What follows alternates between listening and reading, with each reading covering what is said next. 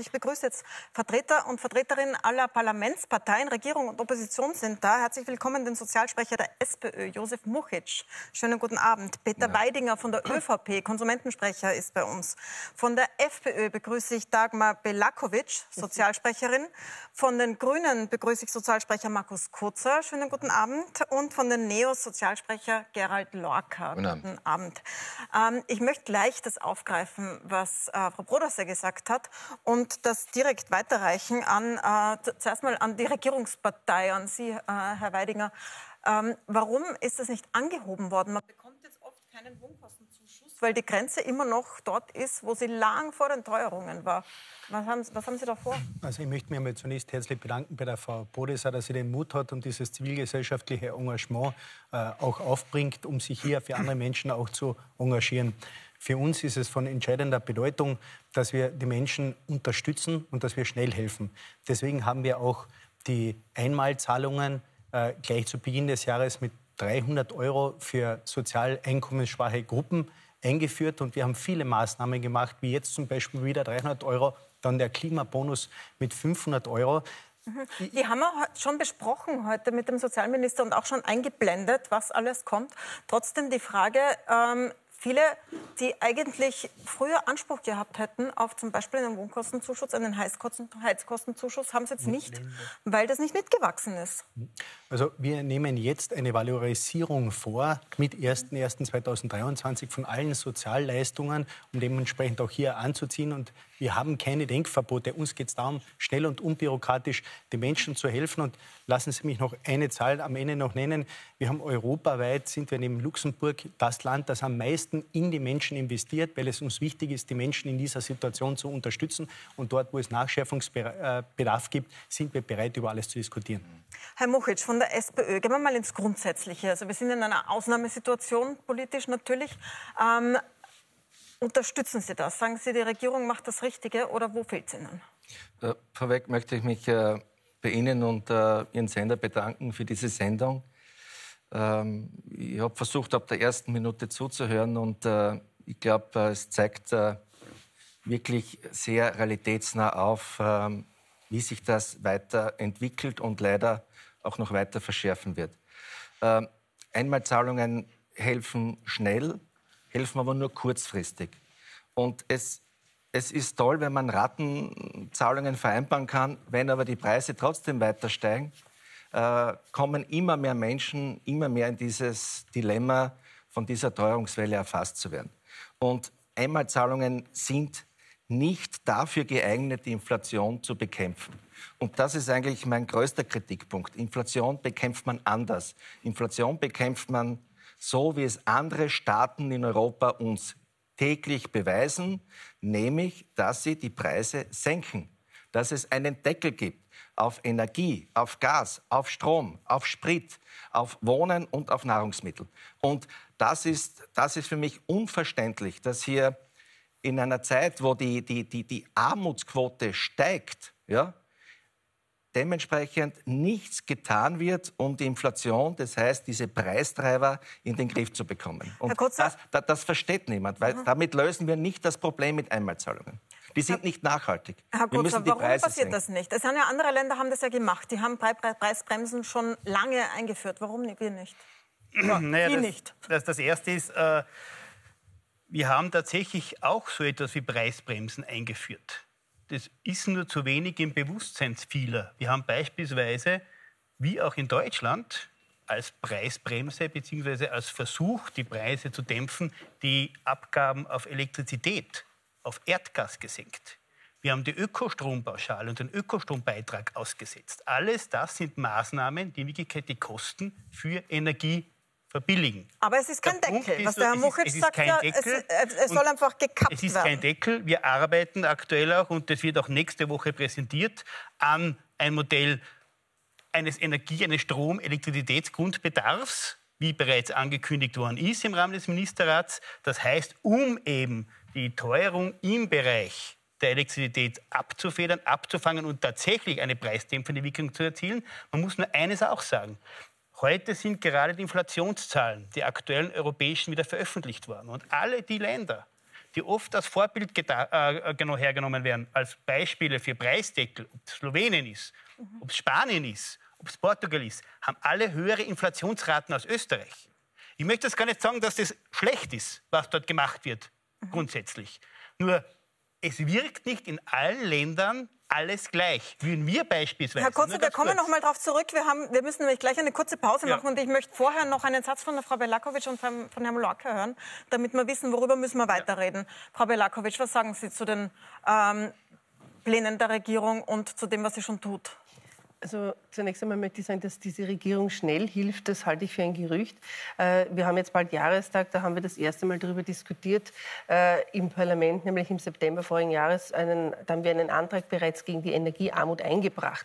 Das ist ja nicht ein Phänomen, das jetzt äh, aufgetreten ist, sondern das war ja vorhersehbar. Das kam auch nicht aus dem Nichts und aus dem Nirvana. Da ist überhaupt nichts passiert, ein Jahr lang.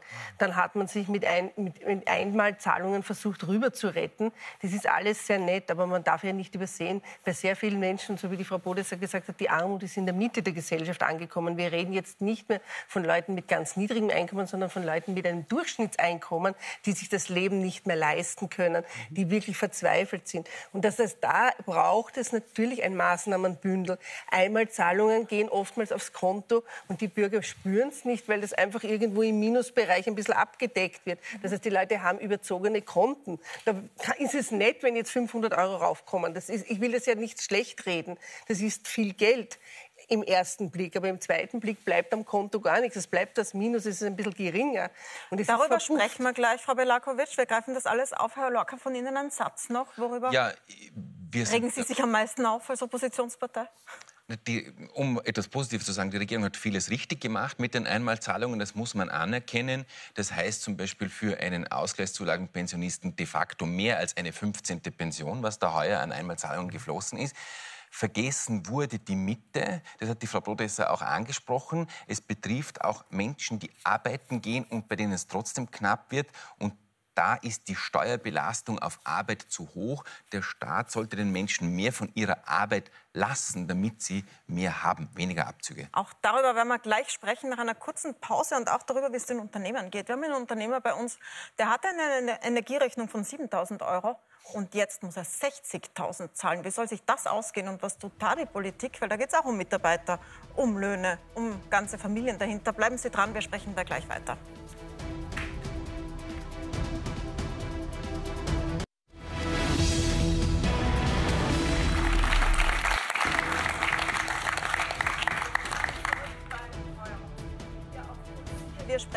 Darüber, wie die explodierenden Preise sich auf Ihr Haushaltsbudget auswirken. Sie haben uns viele, viele Fragen geschickt. Wir haben jetzt eine Runde von Politikerinnen und Politikern hier aller Parteien, die, mit der wir diskutieren, was muss die Politik jetzt tun. Aber wir sprechen auch darüber, was haben Sie uns gesagt. Wir hatten ja eine Umfrage laufen während der Sendung. Florian Danner hat die Ergebnisse. Wir haben unter anderem die Frage gestellt, schränken Sie sich zum jetzigen Zeitpunkt im Vergleich zu vorhin ein? 81 Prozent der Zuschauerinnen und Zuschauer sagen, ja, sie schränken sich ein. Andere Frage, verschieben Sie größere Anschaffungen oder Urlaubsreisen? Auch da sagen 74 Prozent, ja, das tun wir. Gehen Sie davon aus, dass Sie im nächsten Jahr ärmer werden? unglaubliche 86 Prozent der Menschen, die abgestimmt haben, sagen ja, sie gehen davon aus, dass sie im nächsten Jahr ärmer werden. Und auf die Frage, welche Maßnahme sollte die Regierung jetzt als erstes ergreifen, sagt, äh, sagen 44 Prozent, ein Preisdeckel für Gas und Strom wäre eine Idee, gefolgt dann mit Abstand von Besteuerung von Übergewinnen der Energiekonzerne, dann Mehrwertsteuer für Grundnahrungsmittel aussetzen und Sozialleistungen und niedrige Pensionen erhöhen, sagen immerhin noch 10 Prozent. Ich glaube, das ähm, ist auch gleich ein Handlungsauftrag für die Menschen, die bei dir sitzen. Ja, das sind schon erschreckende Zahlen. Also von Ihnen, das sind jetzt Puls 4 Zuseher und Zuseherinnen, die abgestimmt haben. 86 Prozent sagen, sie haben Angst, in die Arbeit abzurutschen.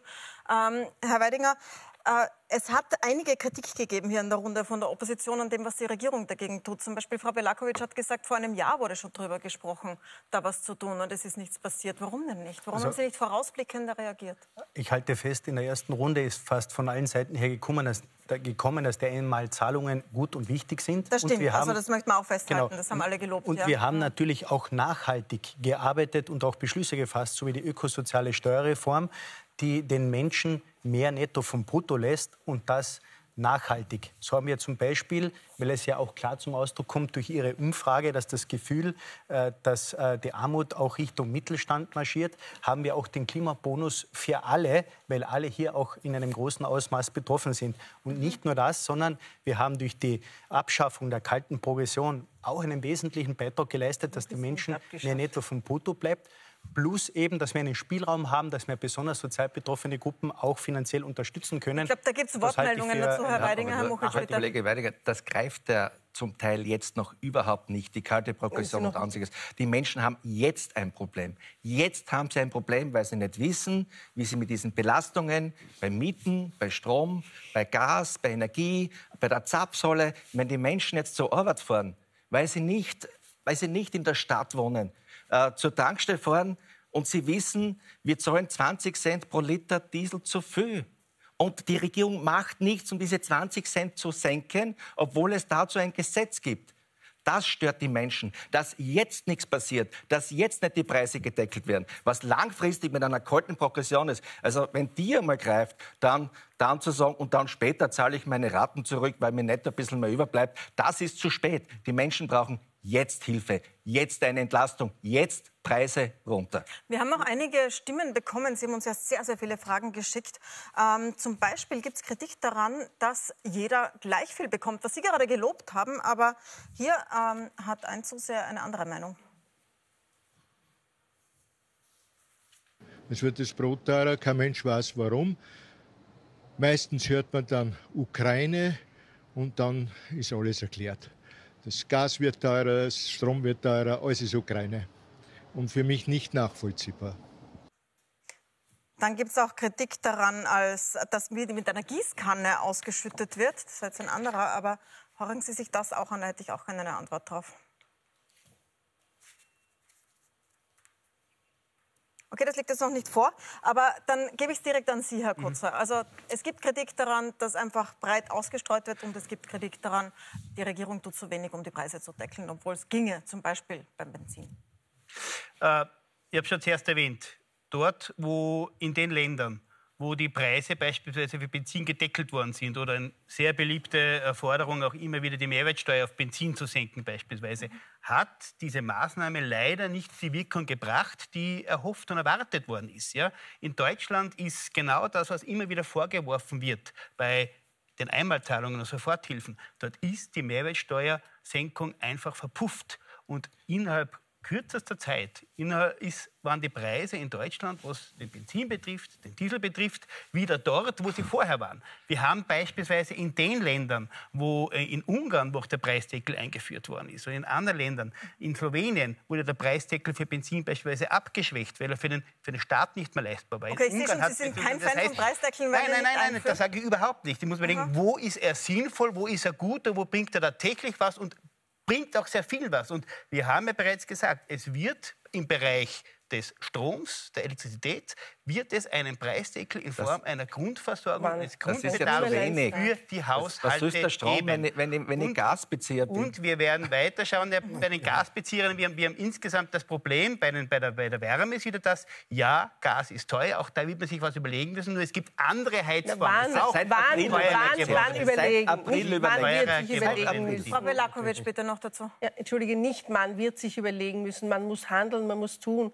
Und man hätte es vor Monaten tun müssen, weil wir sind morgen im 1. September, die Heizphase steht vor der Tür. Also viele Leute sind ja tatsächlich verzweifelt, weil sie mit dem Gas heizen, weil sie das Warmwasser übers ja. Gas beziehen. Aber also Sie, jetzt sozusagen, wir werden und wir machen eh und wir reden und wir diskutieren, die Zeit ist zu ja, spät. Das ist ja das Hauptproblem. Dass wir bereits sehr umfassende das Pakete ist das geschnürt haben, ja, aber das sind nicht Wochen, nachhaltig. In den nächsten Nein. Wochen, Monaten das bezahlt sind Einmalzahlungen. Nein. Und die Nachhaltigkeit... Ich glaube, es ist recht klar, wo sich da die Konfliktlinien also, befinden. Ich, ich glaube, man muss schon zwei mhm. Sachen auch sagen. Einerseits, die Lohnverhandlungen stehen vor der Türe, wo die Gewerkschaften um Lohnerhöhungen kämpfen. Das ist ihr Job, ihre Aufgabe, um die Inflation abzudecken. Auf der anderen Seite haben wir sowohl mit der teilweisen Abschaffung der kalten Progression, beziehungsweise diesen, dieser, die ist ja noch gar nicht abgeschafft. Mit da ist ja noch gar nichts passiert. Das ist nur eine Ankündigung. Ja, es ist eine Begutachtung, äh, die Gesetz, der Gesetzentwurf, und mit der automatischen Erhöhung, Indexierung der Sozialleistungen wird genau genau eben nicht dieser Einmaleffekt nur erzielt, sondern dauerhafte Maßnahmen. Die Danke, Herr Kurzer, für die Aufklärung. Wir haben jetzt einen Unternehmer bei uns, bei dem so richtig eng wird, weil bei dem hat sich die Energierechnung vervielfacht. Florian, bei dir. Markus Hager, nämlich aus Hollerbrunn in Niederösterreich, verachteinhalbfacht hatten sich da die Gaskosten in ihrer Autowerkstatt. Warum? Na, der Vertrag ist ausgelaufen, also Ende August. Und äh, der war drei Jahre gültig. Und somit habe ich den neuen Vertrag bekommen mit den neuen Preisen. Und somit ist das eine achteinhalbfache Erhöhung und komme ich auf 60.000 Euro. Was erhoffen Sie sich oder erwarten Sie sich von den Politikerinnen und Politikern? Naja, ich möchte den Herrn Weidinger ansprechen, weil er in der Regierung sitzt, bezieh beziehungsweise eigentlich eher als Unternehmer mich vielleicht anspricht oder ansprechen sollte, sagen wir so. Äh, ich möchte konkret von Ihnen wissen, äh, gibt es für Unternehmer, die so eine exorbitante hohe Verachtfachung, Verzehnfachung haben, eine Stützung, eine Unterstützung vom Staat. Äh, Herr Hager, äh, ich kann gut mit Ihnen mitfühlen und wir haben eine Verantwortung, äh, dass wir Sie unterstützen und die Betriebe in diesem Land, weil Sie schaffen Arbeitsplätze und Sie sorgen dafür, dass wir dann nach der Krise wieder richtig durchstarten Entschuldigen, können. Entschuldigung, dass ich unterbreche. Ihnen, voilà, nix. Ja, Bin ich bei Ihnen. Energiepreisbremse kommt jetzt für die Haushalte und analog dazu muss es das auch für die Wirtschaft, für Sie geben, dass Sie über die nächsten Na, kommt Monate sie oder kommen. kommt sie nicht? Wir arbeiten daran, wir werden das auch gemeinsam mit dem Koalitionspartner umsetzen, weil wir müssen unseren Beitrag leisten, dass Sie als Betrieb einfach weiterkommen. Und wie Sie es ausgeführt haben, diese Preise sind Drei kaum äh, ohne Unterstützung von Seiten des Staates äh, finanzierbar und umsetzbar. Und wir sind dahinter, dass wir das für Sie so auf die Schiene bringen, dass Sie und weitere Betriebe in Österreich gut arbeiten können. Also ich bin gespannt, ob das dann hoffentlich so kommt. Ja. Nur ja. wir sitzen mit den, also Arbeitgeber, Arbeitnehmer sitzen in einem Boot vorweg. Das möchte ich schon noch in Herrn Muchic sagen. Ja, und was ich hier zum Beispiel überhaupt nicht nachvollziehen kann, es ist natürlich wichtig, dass es Lohnerhöhungen gibt. Das ist kein Thema, freilich. Aber der Unternehmen muss sie auch bezahlen können, letztendlich. Ja. Und wenn durch die Inflation die Lohnerhöhung exorbitant im Verhältnis hoch ist, 8, 9, 10 Prozent, wie auch immer, plus die äh, exorbitante Energiekosten, dann wird es für, laut Prognosen für 40 Prozent der Unternehmen sehr eng. Was bedeutet das letztendlich? Extrem viele Arbeitslose mehr, was den Staat letztendlich zehnmal mehr Geld kostet, also wenn sie irgendwie versuchen, äh, den Unternehmer zu stützen. Ich bin bei Herrn Muchic, äh, dass das eine Einmalzahlung im Prinzip eh lieb ist für jeden äh, Angestellten, wie auch immer. Aber letztendlich muss es eine Möglichkeit geben in Zukunft, für, äh, das muss ja volkswirtschaftlich sinnvoll sein, ist sinnvoll. Und äh, da fragt man sich halt, wie eine Gesellschaft funktionieren soll. Es muss ja jeder letztendlich allein existieren können. Es muss halt eine Möglichkeit geben, dass er existieren kann. Und das ist, finde ich, das Wichtige. Es muss ein Unternehmen Geld verdienen können, dass er seinen Mitarbeiter genug Gehalt zahlen kann und äh, nicht in eine Schieflage kommt. Und, und, das passiert im Moment überhaupt nicht in der letzten Zeit. Und ich finde auch zum Beispiel, die Lohnnebenkosten sind äh, einfach zu hoch. Da reden wir seit, also ich bin, ich bin jetzt seit 30 Jahren Unternehmer, ja. seit 30 Jahren höre ich jedes Jahr dasselbe. Es Dann wird vielleicht brauchen wir mal, was der Herr Mukisch dazu sagt. Herr Mukisch, es, es, sind jetzt die Lohnerhöhungen, stehen ja. jetzt an, also Sie ja. verhandeln gerade. Für Unternehmer, die, die Leute brauchen es, ganz klar. Ja. Für Unternehmer kann es einfach den Betrieb sprengen. Ja, was sagen Sie darauf? Ja, aber zu, zu, dem Problem, das der Herr Hager angeschnitten hat, aber vielleicht, vielleicht macht es wieder einen Arbeitskreis ne, und berichtet in ein paar Monaten, ob, ob sich etwas tut. Ne? Äh, aber Plus. wie auch immer, mhm. das, das, ist etwas zynisch gemeint jetzt. Fakt das ist, das Problem ist seit April, das, das, das Problem ist seit April bekannt seit April. Und andere Staaten zeigen, wie es geht. Und wenn wir einen Preisdeckel äh, jetzt reden, dann reden wir über einen Preisdeckel über alle Energiepreise. Was die Regierung uns bis heute Mitternacht versprochen hat, ist eine, eine Strompreisbremse. Aber es gibt andere Energieorten mhm. auch noch, was ich weiß. Ja. Mhm. Das, was der Herr Hagan meint, da geht es auch um andere Energieformen. Da geht es um ja. einen Gaspreisdeckel. Ja. Da geht es da geht's um andere Dinge auch noch. Und wenn die Unternehmer jetzt schon die große Befürchtung haben, ja, dass ihnen äh, die, die Lohn- und Gehaltsverhandlungen natürlich ein Thema ist, aber nicht das Hauptthema. Die anderen Steigerungen bei, bei, bei, bei Strom, bei Gas, bei Energiekosten, das sind ja die wesentlich größeren Herausforderungen, auch für die Unternehmen, weil gerade die Klein- und Mittelunternehmen mhm. sind jene, die, die die Leute beschäftigen, die die Stütze der Wirtschaft und letztendlich der Garant mhm. sind, dass der Finanzminister jetzt 11 Milliarden mehr einnimmt, als was er budgetiert hat, laut Agenda Austria. Aber es nicht bereit ist, den Menschen eins zu eins zurückzugeben. Herr Weidinger, da war die Frage noch offen, wann kommt das? Ja. Strompreisbremse oder Deckel für Unternehmen. Wann also kommt das? Diese Regierung arbeitet Tag und Nacht und nimmt ihre staatspolitische Verantwortung wahr und hat deswegen jetzt, weil es so dringend war, ein Wiener Thema vorgezogen, um das zu einer guten Lösung zu finden im Interesse von zwei Millionen Wienerinnen und Wienern.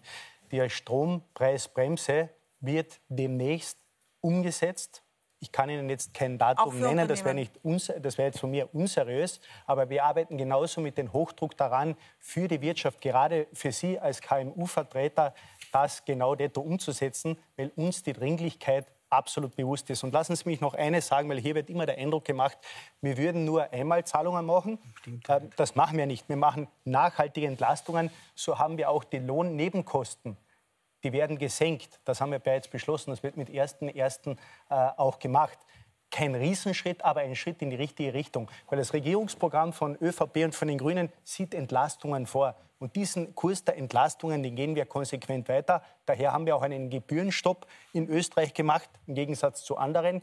Und wir unterstützen strukturell, so wie die Familienbeihilfe jetzt auch zusätzlich ausgezahlt wurde für 1,8 Millionen Kinder, als auch die Valorisierung, wie es der Kollege angesprochen hat.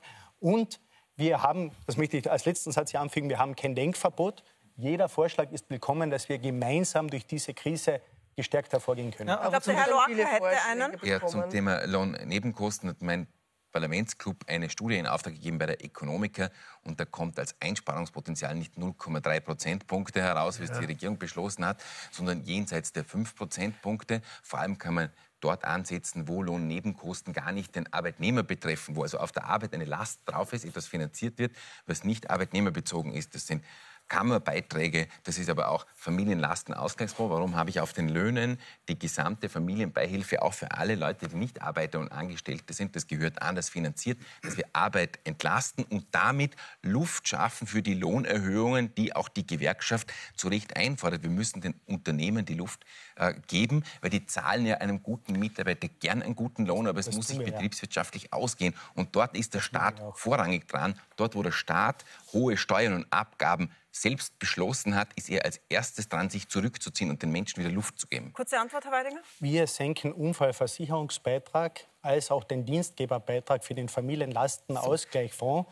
Und das ist notwendig und gut so, gerade um KMUs zu entlasten. Und diesen Kurs werden wir auch weiter fortsetzen. Man, man muss halt schon ernsthaft darüber diskutieren, wenn wir sehr gerne über Lohnnebenkostensenkungen reden. Was bedeutet das? Was sind die sogenannten Lohnnebenkosten? Das sind die Krankenversicherungsbeiträge zu einem großen Teil, das sind die Pensionsversicherungsbeiträge, die Arbeitslosenversicherungsbeiträge. Wenn man hier sehr leichtfertig von Senkungen spricht, muss man sich schon auch überlegen, wie man das gegenfinanziert. Das war nicht Und das Thema. Sag, ehrlich, das Thema war Familienlastenausgleich. Ja, auch beim Familienlastenausgleichsfonds ja glaube ich, dass andere Staaten das über das Budget finanzieren. Hätten wir andere Möglichkeiten, das zu finanzieren, dann müssen wir auch überlegen, wie wir das im Budget finanzieren. Und dann ist unsere Antwort, das hat der, Sozial hat der, der Sozialminister schon gesagt, ist die Frage von vermögensbezogenen Steuern. Ja, Eine mit, Rekordeinnahmen, mit Rekordeinnahmen aus der Mineralölsteuer, mit Rekordeinnahmen aus der Umsatzsteuer kann der Herr Finanzminister sehr viel ähm, finanzieren. Äh, finanzieren.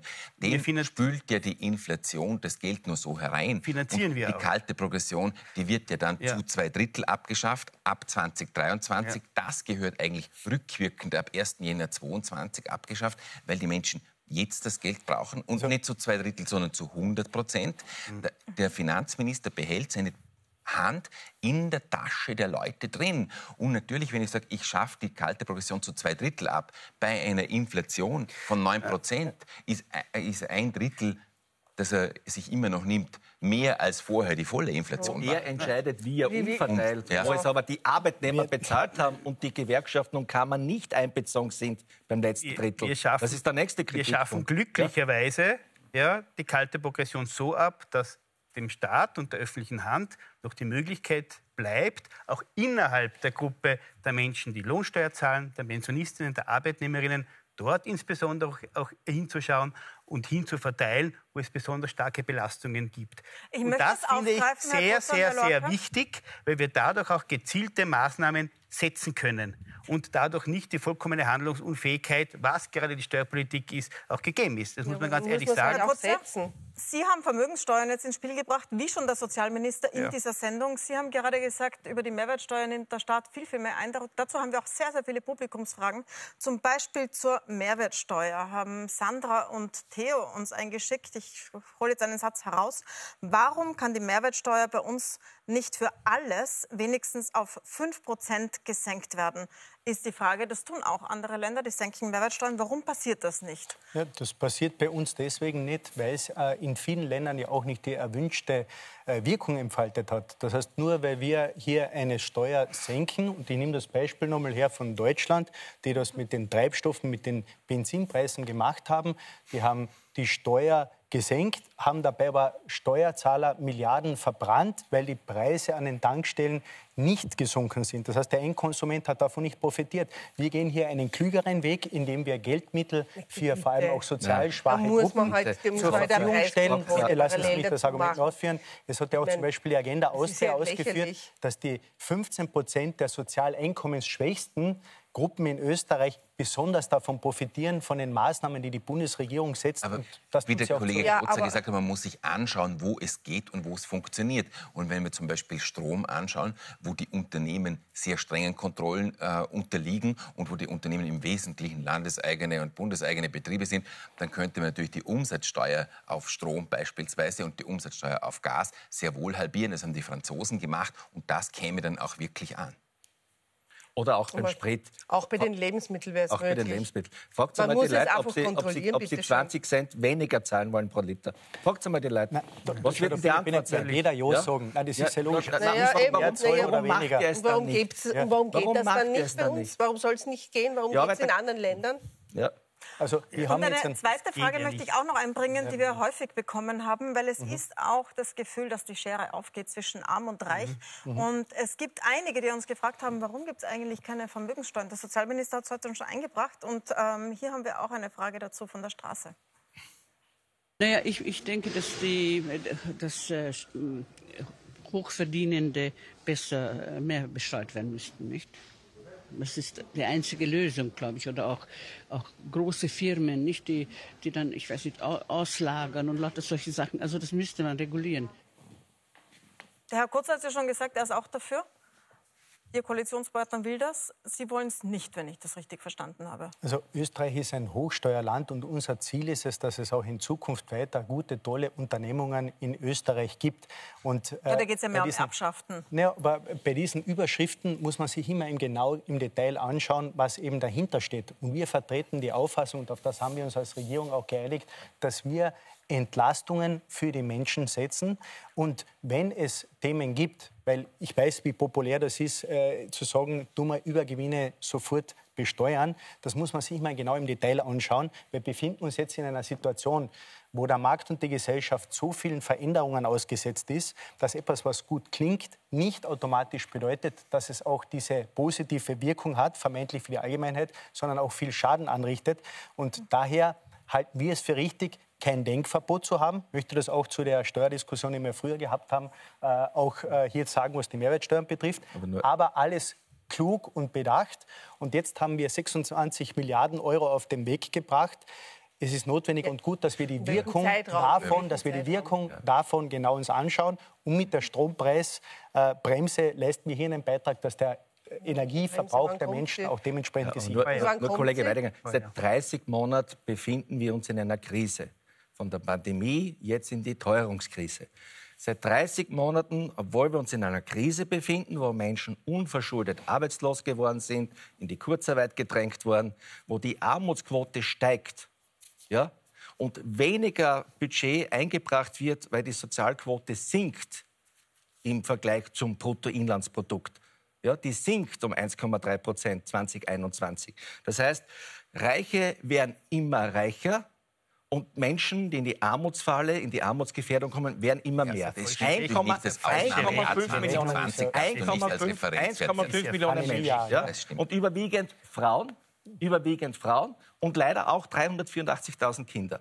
Und dann zu sagen, äh, wir, wir müssen darüber nachdenken und vielleicht können wir dann etwas tun, damit, damit Vermögen vielleicht auch einen größeren Beitrag zur Bekämpfung der Krise leisten kann. Ja, wann, wenn nicht jetzt? Ja, Herr Kollege die Vorschläge liegen am Tisch. Na, wir setzen bei allen sie ja auch Vorschläge um. am Tisch. Wir setzen sie auch um. Wir haben zwei Entlastungspakete mit 4 Milliarden Was Euro. Was macht bei der Umverteilung? Wir haben die Ökostrom Vermögen hinuntergegeben. Vermögen. Wir haben Vermögen. Äh, dann äh, die, Vermögen. Wir haben auch die Pendlerpauschale eingeführt. Ja, das, das, ist ja ganz eine tolle Geschichte klar, gewesen. Dass die diejenigen, die wenig verdienen, diejenigen, die wenig verdienen, kriegen weniger also Pauschale ersetzt und diejenigen, die viel verdienen, kriegen mehr Pendlerpauschale, steuerfreies Absetzbetrag. Da habt ihr eine tolle Geschichte gemacht. Gratulation. So, das ist logischerweise gibt es ja sehr unterschiedliche Positionen zwischen Regierungsparteien, Opposition und auch innerhalb.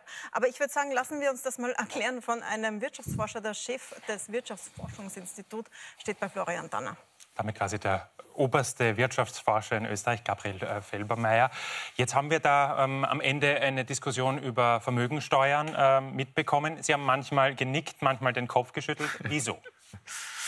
Naja, also wie so häufig ist es so, dass viele dieser Argumente alle valide sind, und zwar gleichzeitig. Also man kann sehr wohl äh, über zum Beispiel eine Erbschaftssteuer Wiedereinführung in Österreich nachdenken, aber gleichzeitig stimmt, äh, was gesagt wurde, dass Österreich natürlich ein Hochsteuerland ist und dass es nicht darum geht, die Belastungen insgesamt zu erhöhen, sondern das Steuersystem ist zu verbessern. Also Lohn, Nebenkosten absenken. Ich glaube, da wären sehr viele dafür. Auch die Wirtschaftsforschung im Großen und Ganzen wäre dafür. Aber das muss gegenfinanziert werden. Und da sollte dann auch zum Beispiel eine Erbschaftssteuer ein sparsames, gut funktionierendes Modell nicht von vornherein ausgeschlossen werden.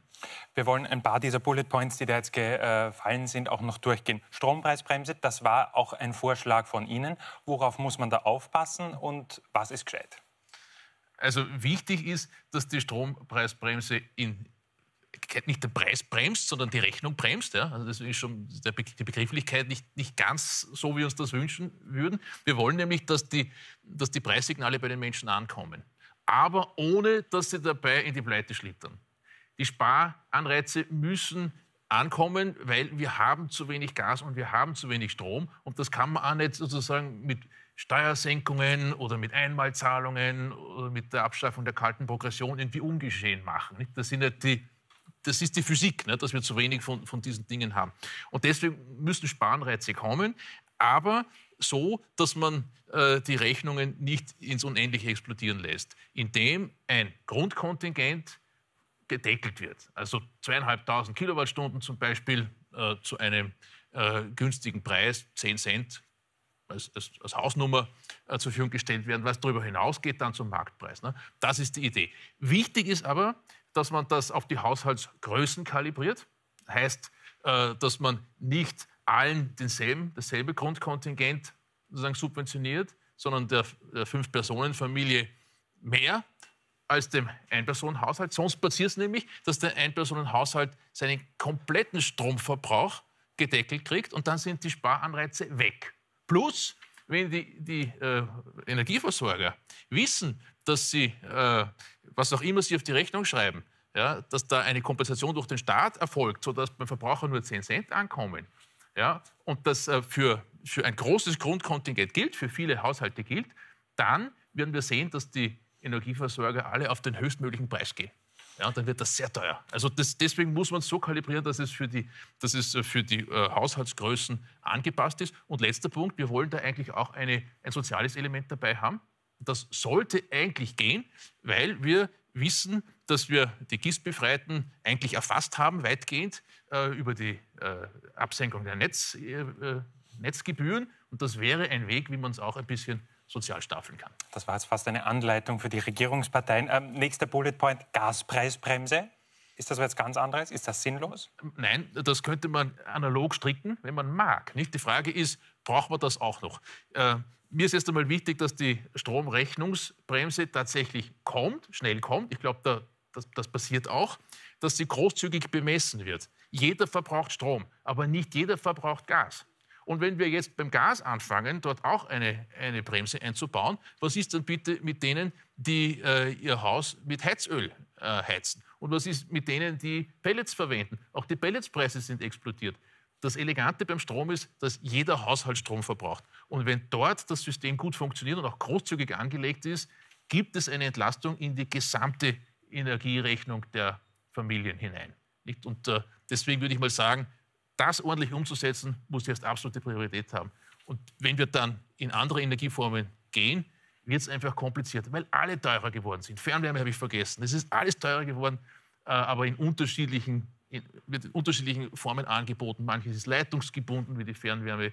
Anderes kommt mit dem LKW, wie das Heizöl. Wer gescheit, wer frühzeitig eingekauft hat, äh, hat andere Preise, wer später einkauft. Das wird einfach wahnsinnig kompliziert. Von einigen Oppositionsparteien ist auch der Vorschlag einer Mehrwertsteuersenkung gekommen. Was halten Sie davon? Ja, das, da haben wir einen Dissens. Äh, nein, ich glaube, dass Mehrwertsteuersenkungen äh, nicht zielgerichtet sind. Sie sind vor allem asozial, weil alle die, die hohe Ausgaben haben, viel konsumieren, weil sie hohe Einkommen haben, natürlich durch eine Mehrwertsteuerabsenkung auch absolut gesehen die größten Transfers vom Staat bekommen. Nicht? Also wenn ich um 10.000 Euro äh, Güter kaufe und dort erfolgt dann eine Preissenkung, da kriege ich einen, einen, großen Steuerrabatt, als wenn ich um 100 Euro einkaufe. Und deswegen meinen wir, das nicht zu tun. Ähm, dazu kommt noch, das wurde ja auch angesprochen und ist auch wissenschaftlich nachgewiesen, dass äh, typischerweise eine Mehrwertsteuersenkung nicht zu 100 Prozent weitergegeben wird. Das kann man auch nicht irgendwie mit einem polizeistaatlichen Instrument überwachen und die Firmen zwingen, dass sie es weitergeben. Die Bezugsgröße ist ja variabel. Nicht? Also auf was wird denn die 10 Prozent aufgeschlagen? Das, das ist nicht kontrollierbar. Das wäre in einer Planwirtschaft kontrollierbar. Sowas haben wir nicht. Deswegen die Mehrwertsteuer teuer, nicht zielgerichtet äh, und äh, die, die Weitergabe im Sinne einer wirklichen Hilfe für die Haushalte nicht garantiert. Jetzt liegen eben viele Vorschläge am Tisch. Auf welche Priorität soll sich die Regierung Ihrer Meinung nach konzentrieren? Also wir müssen das Problem an der Wurzel packen. Nicht? Und äh, das bedeutet für viele Güter, nicht nur für die Strom- und Gasrechnung, sondern auch für den Lebensmittelsektor, für viele andere Güter, äh, dass die hohen Energiepreise, die durch den Krieg verursacht werden, die Teuerung auslösen. Wir müssen alles daran setzen, dass wir dort äh, niedrigere Werte kriegen. Nicht? Also äh, das kann zum Beispiel bedeuten, dass man an der Merit Order versucht, etwas zu ändern, äh, dass also man den Strom, und den, den, den Strom und den Gaspreis entkoppelt. Da bin ich sehr gespannt, äh, was da jetzt Anfang September äh, äh, beim, äh, beim Gipfel der Energieminister auf europäischer Ebene passiert. Das muss man europäisch machen. Ja, das ist leider auch die Realität. Nicht? Man kann sich wünschen, macht doch was, äh, äh, Österreich, aber wenn Deutschland und Italien äh, nicht mitmachen, wir haben einen gemeinsamen Strommarkt, dann müssten wir uns abschotten. Ja? Das kann ordentlich ins Knie gehen, wenn wir sagen, beim Strommarkt schotten wir uns äh, gegen äh, Deutschland und Italien ab. Wir brauchen nämlich die Deutschen und die Italiener ganz dringend, dass sie, ihre, dass sie das äh, Flüssiggas nach uns durchlassen. Aber wenn wir sagen, unseren Strom kriegt es jetzt nicht mehr, den wir billig gemacht haben durch irgendein irgendwelche klugen vielleicht Instrumente, dann wird das nicht laufen. Also eine europäische Lösung, die das Problem an der Wurzel packt. Herr Felbermeier, vielen Dank für Ihre Einschätzung. Und ich glaube, da ist ja auch schon das nächste große Thema bei dir, Corinna. Ja, herzlichen Dank, Herr Felbermeier. Und da sind wir tatsächlich drin, das Problem an der Wurzel packen. Viele von den Zuschriften, die wir bekommen haben, drehen sich um die Stromrechnung. Und das fragen sehr viele. Ich zahle, also zum Beispiel eine Frau schreibt uns, ich zahle seit vielen Jahren mehr, weil ich nur Ökostrom beziehe, nur Wasserkraft und Wind und Sonne. Warum muss ich jetzt für den hohen Gaspreis zahlen? Oder wir haben auch jemanden, der das äh, auf der Straße gesagt hat. Warum ist diese Koppelung zwischen Gas und Strom da? Warum muss der Gaspreis an den Strompreis gekoppelt sein, was sinnlos ist? Wir können in Österreich Strom sehr günstig erzeugen, müssen aber teuren Strom zahlen, weil sonst Gas angeknüpft ist. So, jetzt wissen wir, okay, so funktioniert der Energiemarkt, aber er muss ja nicht so funktionieren. Warum ändert man das nicht?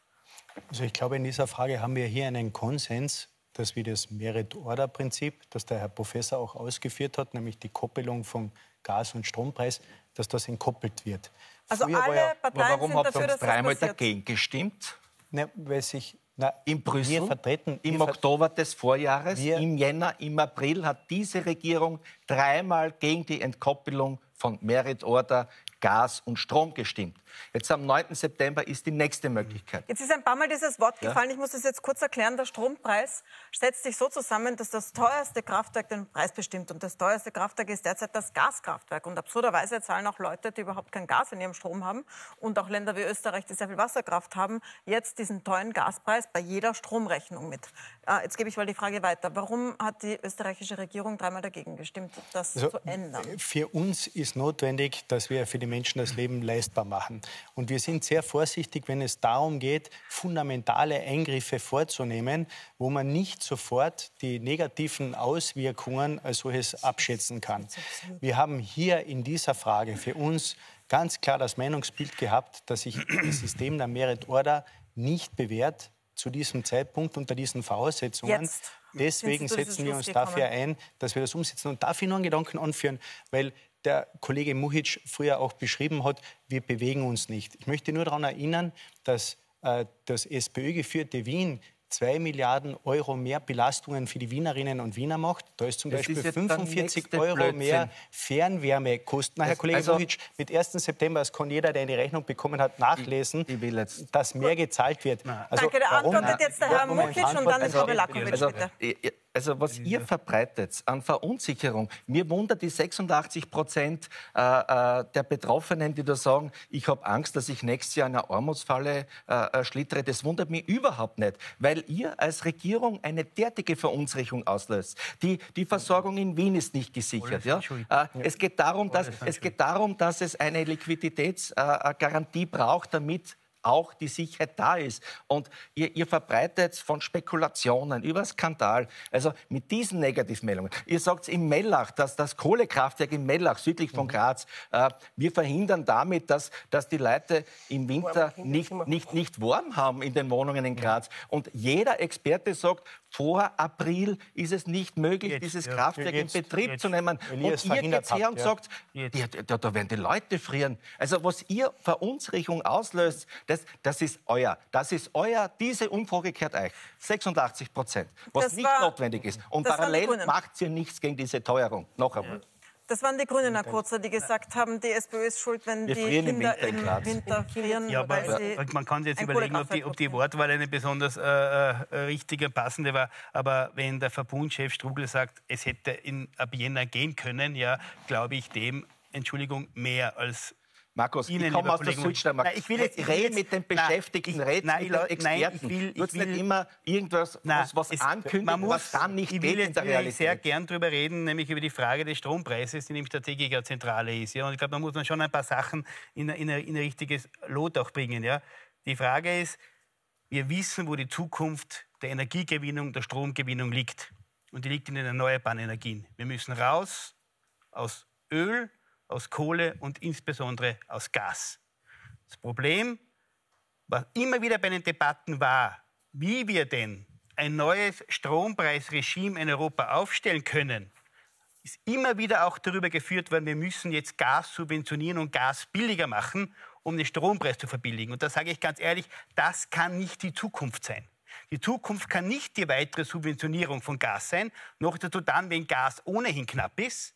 Weil dann haben wir den Effekt, dass in Wirklichkeit auch der Anreiz, umzusteigen auf Erneuerbare, geringer wird. Und natürlich, es muss eine massive Entkoppelung des Strompreises vom Gaspreis passieren und stattfinden. Da waren wir nie dagegen. Ja zu da waren wir immer dafür. Na, selbstverständlich sind wir für ein neues Stimmt Regime. Zu wir sind auch sehr September? froh, wir sind auch sehr, es werden erst einmal überhaupt Modelle präsentiert. Also ich habe keine Ahnung, lieber Kollege Muchic, da bist du offensichtlich besser informiert als alle anderen auf dieser Welt, was für ein Modell denn dort vorliegt. Da wird einmal darüber diskutiert, überhaupt, was es für Ideen gibt. Die Griechen haben ein Modell, die Spanier haben ein Modell, auch in Gut, Aber die Regierung hat ihre Meinung geändert. Sie war davor naja, wir nicht dafür, immer, jetzt ist sie dafür, also, das zu ändern. Ich glaube, die Frage ist nicht, ob, ob sich die Meinung geändert hat, sondern was ist der Schwerpunkt, wo wollen wir hin? Und wir wollen in Richtung erneuerbare, nachhaltige Energiegewinnung und Stromproduktion, die nicht mehr vom Gas abhängig ist, weil wir uns weder von Despoten noch von Russland noch von jemand anderen abhängig machen wollen. Frau Belakovic, bitte. Das sind alles wunderschöne Worte. Das ist die Realität.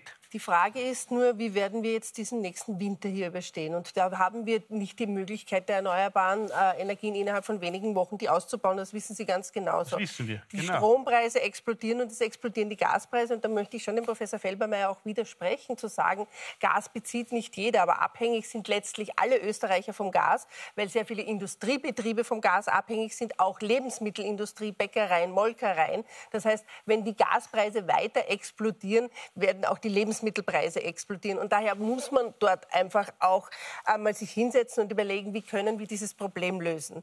Und da sehe ich leider überhaupt nichts, weil sie alle verbohrt sind und alle nur nach Russland schienen und sagen, die Sanktionen und Schuld ist ein Despot. Mag sein, nur die Frage ist, wie kommen wir jetzt raus? Wir sein? sind nun einmal abhängig, das müssen wir uns alle miteinander eingestehen. Und wenn es eben so ist, dass Putin sagt, er will die gesamte Ukraine und Zelensky sagt, er will auch die gesamte Ukraine, dann werden sich diese beiden Herren trotzdem einmal an einen Tisch setzen müssen und irgendwo in der Mitte finden müssen. Es kann nämlich nicht sein, dass wir in Europa das alles ausbaden müssen, dass unsere Bürger einfach sich das Leben nicht mehr leisten können und dass 86 Prozent Angst davor haben, in die Armutsfalle abzurutschen. Das heißt, man muss kurzfristig halt auch einmal überlegen, machen auch. vielleicht machen wir Nord, machen also, wir, macht diese Regierung einmal einen Druck auf Deutschland, dass Nord Stream 2 geöffnet wird, sicher. dass wir diesen Winter vielleicht ausreichend Gas haben. Das ist ganz anderen Ebene. Nein, nein, nein, nein. nein nichts, genau, das ist es. Sie geben locker Geld aus für Kofag, für alles. Aber wenn es darum geht, den Bürgern zu helfen über einen Winter, wo vor dem wirklich, also praktisch alle Angst haben, dass sie sich das Leben nicht mehr leisten können. Sie Dann heißt, nein, nein, nein, das Sie, geht nicht. Sie rufen wir dazu haben auf, die Sanktionen gegenüber genau Russland zu beenden. Genau mit diesem Problem. Aber genau, das machen hat, Sie gerade. Dann Sie jede Sanktion, das war doch klar, Sie machen, es werden Sanktionen ausgesprochen. Eine, eine Sanktion hat eine Gegenreaktion. Gut, Frau Belack, aber, aber die Sanktionen werden auch nicht aus Jux und Dollerei gemacht. Ich bitte Sie. Bitte? Die werden nicht aus Jux und Dollerei gemacht, sondern weil ein Staat der man einen Despoten geführt hat, den ein anderer Staat einfach angegriffen hat militärisch. Und unsere Bürger müssen es ausbaden. Auch Herr schon Kurzer, der Herr Lorca ist am Wort. Haben Sie da schon einmal drüber also, nachgedacht? Also da bin ich schon näher beim Kollegen Kurzer. Ja, das ist ja, ganz, ja man muss halt ganz objektiv hinschauen, ja. dass der Putin den Gashahn schon langsam zugedreht ja. hat, lange bevor der Ukraine-Krieg begonnen hat. Ja? Und jetzt kann ich die Nord Stream 2 eröffnen, aber wenn, keine, wenn der kein Gas, Gas durchschickt, kommt auch durch die zweite Leitung nichts. Und dann, daher müssen wir uns überlegen, überlegen, wie, wie wir überhaupt weniger Gas brauchen. Das ist nämlich ein Thema, das kommt in Österreich nicht vor. Wir würden daher statt des äh, Preismodells vom Felbermeier, würden wir vorschlagen, liebe Bürger, wenn ihr einspart, bekommt ihr in dem Ausmaß, in dem ihr einspart zum Vorjahr, dann auch eine Gutschrift. Also wenn ich 20 Prozent einspare, bekomme ich für die nächsten 20 Prozent eine Gutschrift. Wenn ich 25 Prozent einspare, das heißt, 25. das Sparen sich doppelt lohnt genau, Ihrem Modell. einen Sparanreiz setzen, damit sich die Leute überlegen, wie kann ich meine Kosten senken, indem ich selbst einen Beitrag leiste und nicht indem ich den Staat einen Beitrag leisten lasse allein. Ähm, ich möchte einmal noch an Sie geben, wir sind fast am Ende der Sendung, aber mhm. tatsächlich steht ja, man hat es jetzt gesehen in den letzten Tagen, ein Winter vor der Tür, wo tatsächlich Putin den Gashahn zudrehen könnte. Das mhm. ist nicht mehr etwas, das ein Schreckgespenst ist, das kann tatsächlich passieren, wir erleben es immer wieder. Ist Österreich gerüstet? Also diese Regierung gibt Sicherheit, diese Regierung handelt. Wir haben ein Energielenkungsgesetz einstimmig beschlossen und ich möchte das aufklären, was früher so gekommen ist, wo wir, weil wir wissen, dass Putin seine Spiele und Überlegungen mit Europa, mit dem Gashahn äh, treibt, dass wir Sicherheit brauchen für Österreich und haben deswegen den gesetzlichen Rahmen geschafft, dass die wesentlichen Kraftwerke umgerüstet werden können, zum Beispiel auf Biomasse, dass sie einfach für Strom und für Wärme in den Wintermonaten sorgen. Die Opposition hat hier dagegen gestimmt und hat leider dieses Sicherheitsbackup nicht zugelassen. Das zum einen. Zum Zweiten, dass die äh, Wien Energie Fernwärmepreise erhöht hat, hat nichts mit der aktuellen Diskussion zu tun. Das haben Sie jetzt ein bisschen verwechselt, Herr Kollege Muhic, sondern das ist Faktum. 45 Euro Mehrbelastung, 92 Prozent ist es eine quasi Verdoppelung der Fernwärmepreise für Wien von 2 Milliarden. Lassen Sie mich das bitte ja. noch, äh, dieses oder abschließende Argument. Ist ausgenommen worden? Na, nicht, oder ist es jetzt ein Wien-Bashing? Nein, es ist kein Wien-Bashing, das ist sachlich, das sind alles Fakten, das können also Sie alles nachlesen. Sie ist das auch erhöht worden? Sie kennen das auch. Und Gut. zu den Sanktionen. Gott sei Dank. Das große Bild für uns ist, unser Ziel ist es, gemeinsam innerhalb der Europäischen Union Frieden und Wohlstand zu verbreiten. Und ich warne hier davon, dass wir abgehen davon, dass wir diesen gemeinsamen, die Einigkeit von Sie Europa hier aufs Spiel ja den Wohlstand, lassen Sie den mich Generationen wir, aufgebaut wir wünschen haben. uns Dieser Wohlstand eine Weltordnung, fast am Ende. Wir wünschen uns eine Weltordnung, wo Spielregeln gelten und nicht das Recht des Dschungels, wo der Stärkere einfach tun und lassen kann, was er möchte. Herzlichen Dank. Danke für diese engagierte Diskussion. Danke an Sie, die uns so viele Fragen geschickt haben. Danke an alle, die im Publikum Fragen gestellt haben. Ähm, falls Sie sich fragen, was ist denn da jetzt passiert bei der Wiener Energie, die ein paar Mal aufgepoppt ist, wenn Sie jetzt auf Puls 24 schalten, dann sehen Sie die Politik Insider mit dem linken Ökonomen Stefan Schulmeister und Jan Kluge vom wirtschaftsliberalen Think Tank Agenda. Die diskutieren genau darüber. Und ich darf Sie einladen, morgen um 20.15 Uhr hier auf Puls 4 gibt es eine Premiere und zwar von unserem neuen Abend, der exakt heißt, mit Reportagen. Da werden die heißen Eisen angefasst. Es gibt Studiogäste, morgen Matthias Strolz und äh, morgen freue ich mich sehr, wenn Sie dabei sind. Und jetzt danke fürs Zusehen hier vor 4 beim Teuerungsgipfel.